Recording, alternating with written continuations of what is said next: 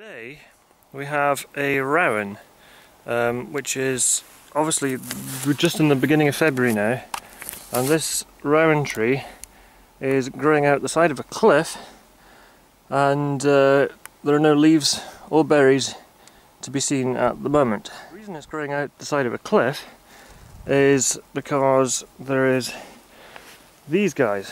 Let me see if I can zoom in on them. In many parts of the world we have grazing animals which roam around the place and stop any new tree seedlings from growing. They eat the grass, they, they eat anything that grows, so a young tasty tree seedling is a nice snack.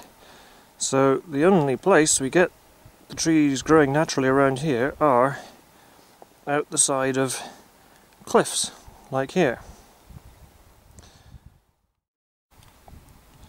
The reason why the rowans grow in such precarious places is that uh, their seeds are spread by birds.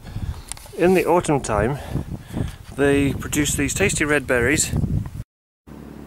There's a rowan berry. Birds like to eat them and then they fly off to other places. They enjoy the fruit, they digest the fruit and then they poo out the hard, indigestible seeds. And when they land a, on the edge of a cliff or somewhere that the sheep can't get to, there's a good chance they can germinate and grow into new trees.